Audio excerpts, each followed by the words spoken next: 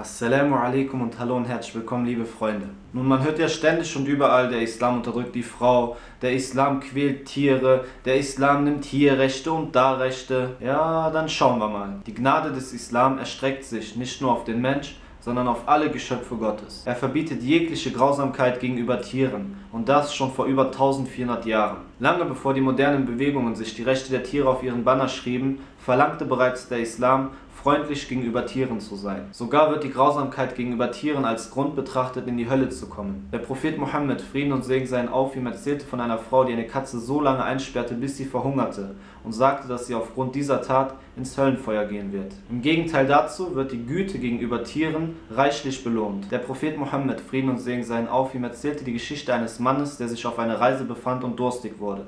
Er fand einen Brunnen, kletterte diesen hinab und stillte seinen Durst. Als er herauskam, fand er einen Hund vor, der vor lauter Durst den Schlamm aufleckte. Da sagte der Mann zu sich selbst, dieser arme Hund ist genauso durstig wie ich.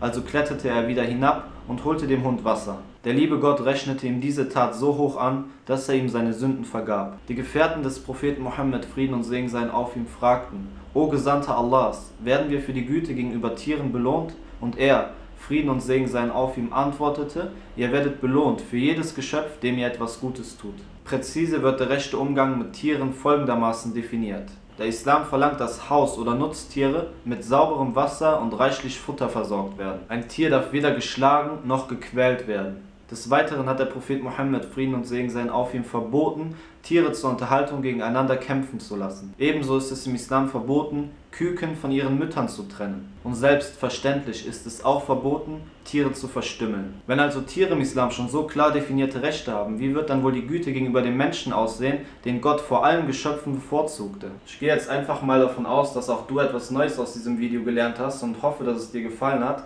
Und wenn du dich fragst, wie ich eigentlich zum Islam gekommen bin, dann bist du nur noch einen Klick von der Antwort entfernt. Na Klick, kostet auch nichts.